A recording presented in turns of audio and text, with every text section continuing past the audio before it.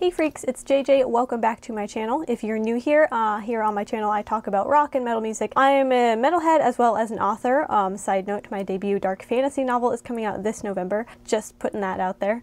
Um, anyway, today as promised we'll be going back into the Ayreon universe covering their 2013 album, The Theory of Everything.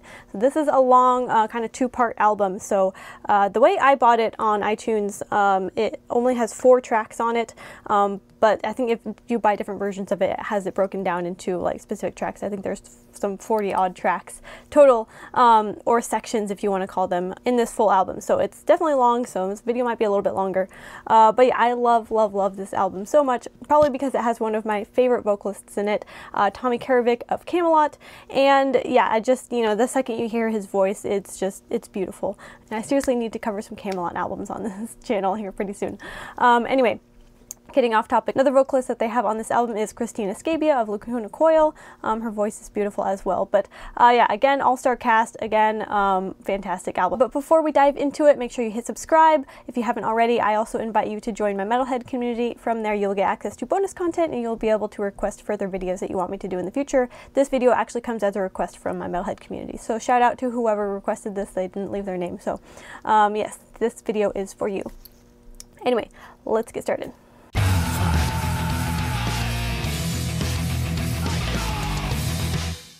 I was going for like an elfish, like cool, like Vikingish look, but I think I missed the mark quite a bit on my hair today. Doesn't help that the humidity just makes things go poof. So again, this uh, concept album is kind of divided into four different parts. Um, we start with phase one, Singularity. And track one, or part one, um, of this section, we have Prologue, the Blackboard. So here we meet our protagonist. He is called the Prodigy, who is voiced by Tommy Karevik of uh, Kamelot. We find him in his lighthouse. And so uh, this protagonist, this Prodigy, he is just kind of lying there slumped over, completely unresponsive and in sort of like a trance.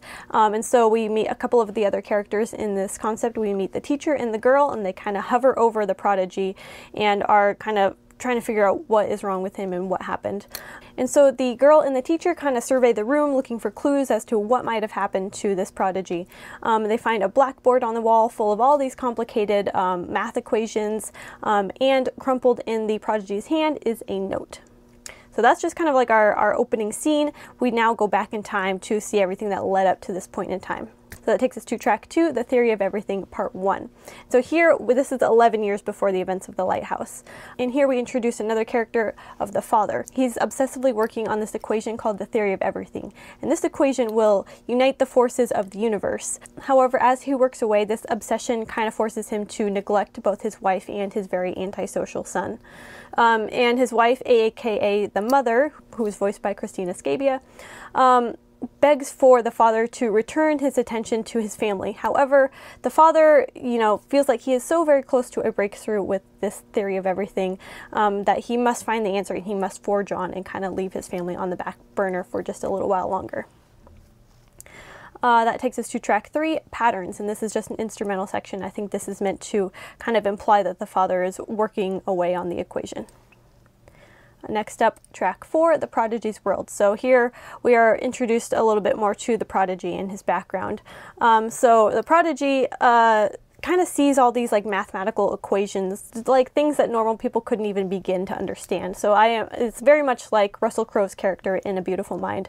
Um, he just sees things differently and he's very, very smart. But this, uh, this ability comes with the cost, of course. It uh, makes it so that he's kind of unable to communicate effectively with others uh, because his mind is so full of, you know, all these equations that it's difficult to look past them and to relate to people in the real world. Um, and so his mother tries to reach out to him, you know, tries to get him to communicate. Um, and the son also wants to communicate back, but he's largely unable to, uh, despite his best efforts. Um, and so our prodigy here begins to wonder why he is the way that he is. Next up, we get to track five, the teacher's discovery. And so we then jump to seven years before the events of the lighthouse. And so a gust of wind blows a page of equations off of a teacher's desk and into the hands of the prodigy. So the prodigy immediately goes to work, you know, just working on this, this equation, and he easily solves it in just a few minutes. Um, and so the teacher sees this and is completely astounded. You know, this teacher's been working on these equations for years and years. Um, to no avail while this young kid just solves it so easily. Um, however, out of jealousy, this rival in the class claims that the prodigy didn't solve it, he did. So that brings us into track six, Love and Envy. So here we have the character of the girl standing up to the character of the rival in defense of the prodigy. So in so doing, the girl kind of reveals uh, her secret feelings for the prodigy. Then we have track seven, Progressive Waves. This is again another instrumental track. Uh, that takes us to The Gift, track eight. Um, and here the teacher pays the prodigy's father a visit. So the teacher just kind of explains to the father how gifted and, you know, genius his son really is. But the father doesn't believe him. The father's always thought of his son as just being completely mentally handicapped due to his inability to communicate effectively. But the teacher, you know, argues with the father, telling him, you must give your son a chance to prove his genius. He is brilliant. You just need to give him the opportunity to prove himself himself, and so the father grudgingly agrees. Sorry, I'm just shooting this video and I'm looking at my hair and it just looks really bad, so sorry if I'm like oh. Distracted by my awful hair. Uh, we then get to track 9, The 11th Dimension, again another instrumental track. Um, and this uh, kind of transitions us in time to track 10, Inertia, which takes place five years before the events of the lighthouse. And so the prodigy is trying to reach out to his father. You know, he, he desperately wants to prove himself, but he's still unsure of how to go about it, and he's still un unable to kind of see past the veil of equations that kind of overwhelm him. Track 11, The Theory of Everything, Part 2. So the mother wants the prodigy to go into therapy. She thinks that this will help him be able to function in the outside world and it might be able to get him to communicate. Um, and the father agrees to the therapy sessions, but his motivations are pretty selfish in that he only agrees to them because he hopes that if his son can function the way he wants him to, then maybe his son, because he's brilliant, can help him solve the theory of everything. That then takes us to phase two. This is, um, in my version of the album, this is track two on the album, but this is really just the second section of disc one. Um, anyway, this is phase two, Symmetry, and then we get to track 12, the consultation. So we have the prodigy meeting with his therapist for the first time. And so the therapist asks the prodigy a series of questions. All the while, uh, the mother is kind of on the sidelines, just desperately pleading with the therapist for answers to help her son. And next we have track 13, diagnosis. Here the therapist reaches a diagnosis. The boy is a complete genius, that's pretty obvious. His mind is unlike any other she's ever met. Um, but because he lives so much inside his head, he has difficulty interacting. And so the therapist explains that he is testing a new drug that might help him. The father, impatient to get his son fixed um, so that he can help him with the theory of everything, uh, jumps all over this idea of, you know, just fixing him with a drug. However, the mother is completely against the drug idea because, you know, there could be a lot of detrimental side effects that the therapist warns of. Track 14, argument 1. So the mother and father kind of argue over this drug option and and the mother kind of outs the father for having selfish motivations for, you know, wanting him to go on this drug, which is, you know, definitely true. Track 15, The Rival's Dilemma. Uh, here we uh, go to the rival who is in fact very smart. Um, however, his intelligence just pales in comparison to the prodigy. And he feels eclipsed by the prodigy. He, he, you know, he longs to feel like special and, you know, be the center of attention. Um, and so because the prodigy has, you know, kind of stolen the spotlight from him, he declares the prodigy to be his enemy. Track 16, Surface Tension. This is again another instrumental track, uh, which takes us into track 17, A Reason to Live. So here the teacher and the girl kind of see the prodigy really struggling with things um, and having a hard time. So together they sort of devise a way to give him a reason to live. Um, and so in the next track we kind of see their separate motivations for wanting to do this um, track 18 potential. So the teacher wants to help the prodigy because he sees it as his you know like contribution to the world. Like you know he himself can't accomplish the genius that he wants to but if he could help this prodigy break through and be able to accomplish the things that he knows his beautiful mind can then that will be his contribution to the world. And he just wants you know he just wants good things for him. Meanwhile the girl wants to help the prodigy because she is secretly in love with him. And there is this still a fucking fly in here Ah, track 19, Quantum Chaos. Uh, this again is another instrumental track, and I think this kind of represents the, the Prodigy's world, sort of just chaotic, but also beautiful at the same time. Track 20, Dark Medicine. Here, the father, in secret, returns to the therapist and obtains the drug to give to his son. Uh, which then brings us to track 21, Alive. Uh, the prodigy here, after ingesting the drug that the father has secretly sprinkled in his food, uh, begins to wake up to the world. He is finally able to make sense of all the things around him, and he kind of like emerges from his cocoon of solitude. So the father is pretty stoked about this, of course, and he immediately asks his son for help with the equation for the theory of everything.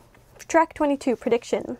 The mother is overjoyed by you know these new developments within her son. Um, though she still doesn't know about the drug, she thinks that he's just miraculously made a huge turnaround. She's just really happy with this breakthrough in communication that he's been able to accomplish. So that is half of the album. I will be covering the other half in another video. Just kidding, I'll do it now. If I'm being extra weird today, I'm working on little sleep here, guys. Very little sleep.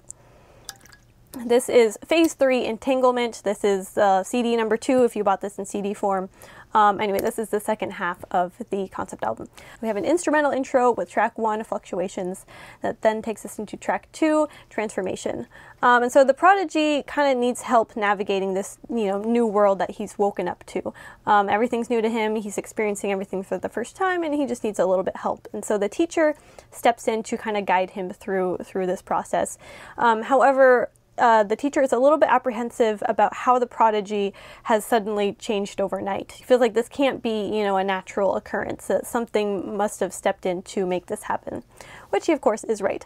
Um, that takes us to track three, Collision. And so the Prodigy is now able to um, confront his rival for the first time. So the Prodigy tells the rival how he, you know, sees that the, the rival has been bullying him this whole time because he is jealous of his genius. And the rival just kind of responds by proclaiming that, you know, he is still convinced that he will one day uh, outshine the Prodigy with his smarts. And so the rivalry continues. Um, but our Prodigy is finally standing up for himself. Here we have another jump in time. We now go to three years before the events of the lighthouse.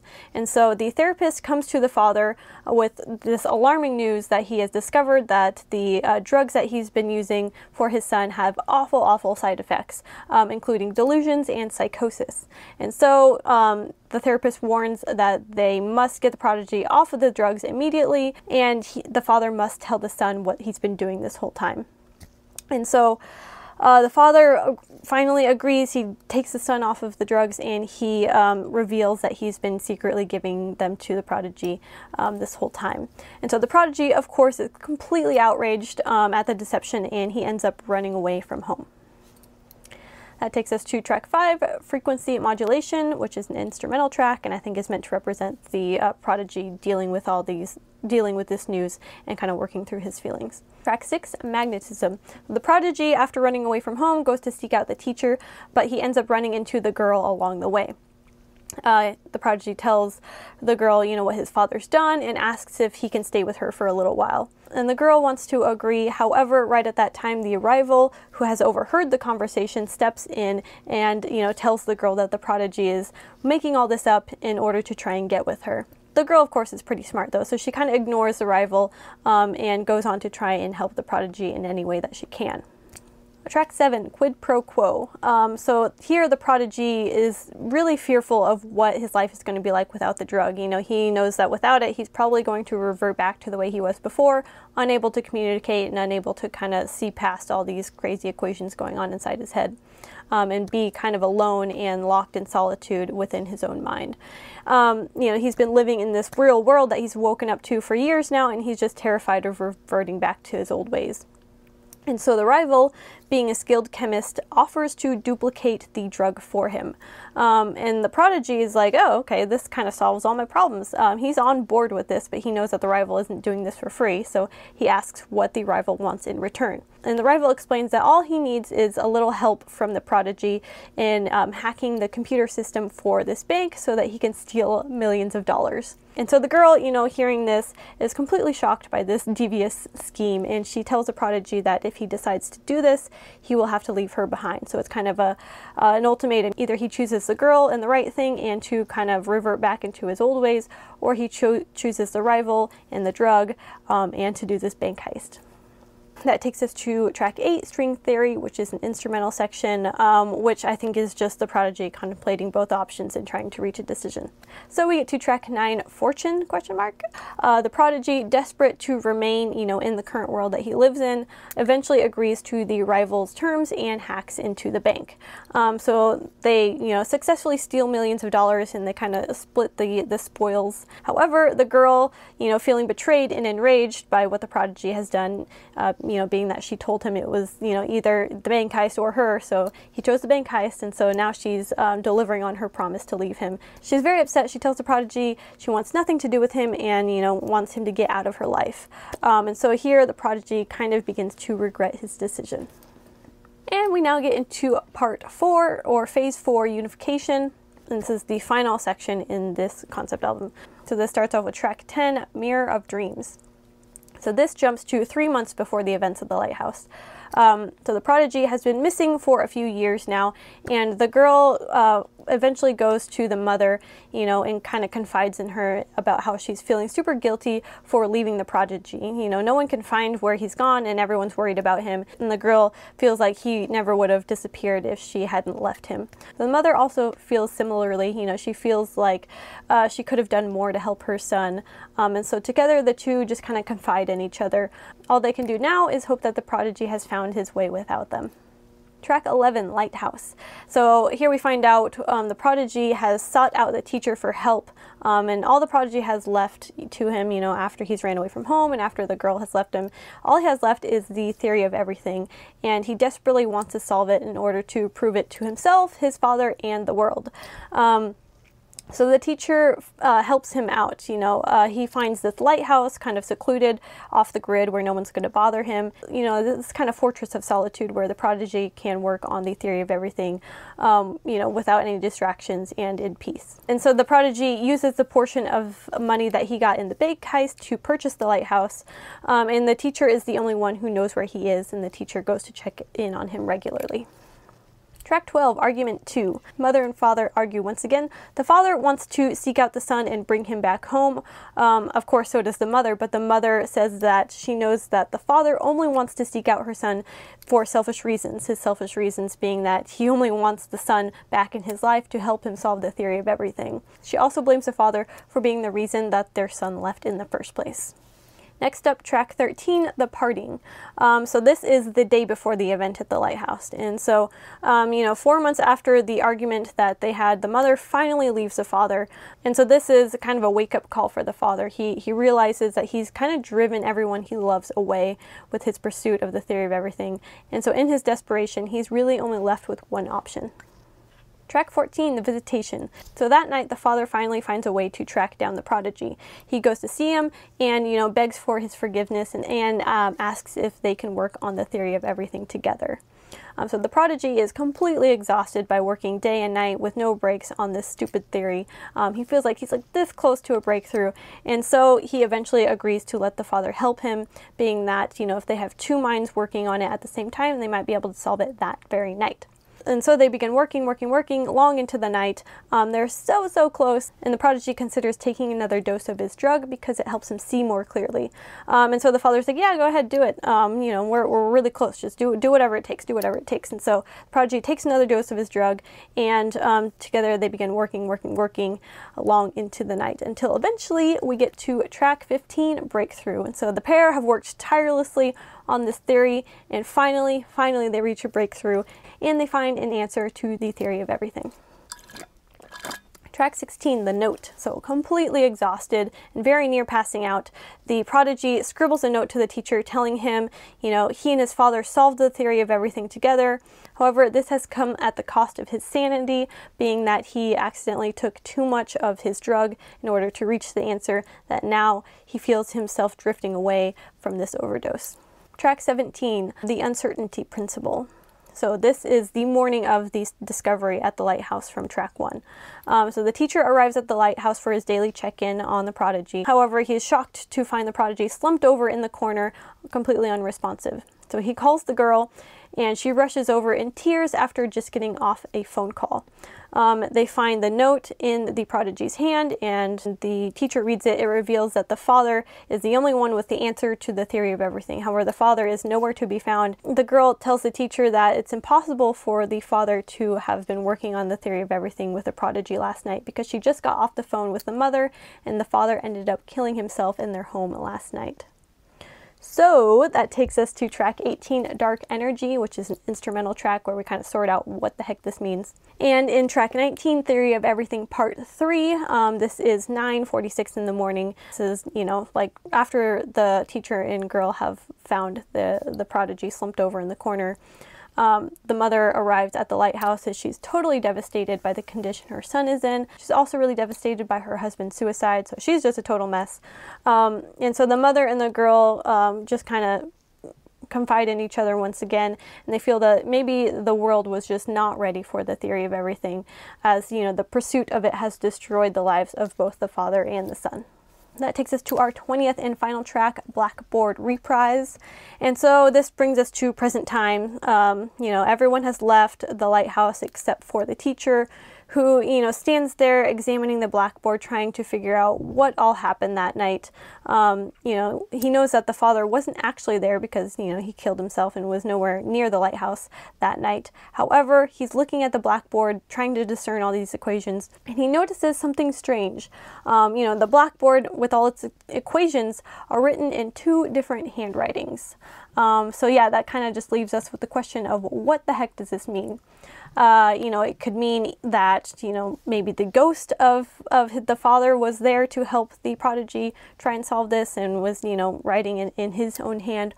Or it could mean that the prodigy just kind of lost his mind completely and had some kind of disassociative thing going on where he was acting as the father, writing in his handwriting. Um, yeah, could mean a lot of things. So we're just kind of left wondering. I like that it's left uh, open-ended like that, and I'd love to hear all of your theories down in the description. Me personally, I'm a fan of the uh, kind of dissociative identity disorder um, with this mental break that the son experiences due to an overdose of his drug. I'd like to think that he becomes his father, sort of in this very like Norman Bates creepy kind of way. I'm also a big fan of the movie Split as well. So I kind of imagine, I like to imagine him, you know, playing the part as his father.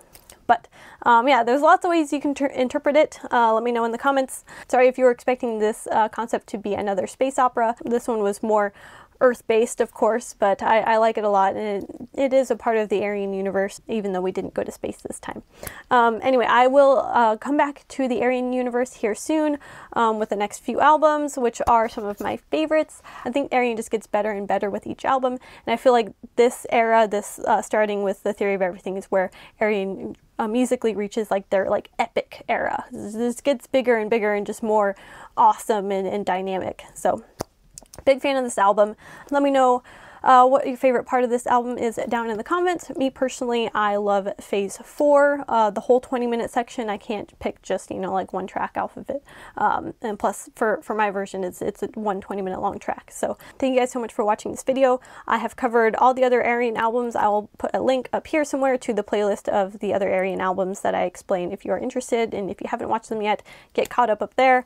Also, in other news, um, like I mentioned in the beginning of this video, my debut dark fantasy novel is coming out this November. Release date is set for November 14th. Um, I will keep you guys updated on that. But yeah, if you want to join my street team, um, you'll get a digital advanced reader copy um, of the book. And uh, yeah, details on that I'll put down in the, in the, description. Also, if you want to support what I do here on this channel, make sure you like, share, subscribe. Um, and also feel free to join my Metalhead community. Link is down in the description. Anyway, thank you guys so much for watching. Um, and until next time.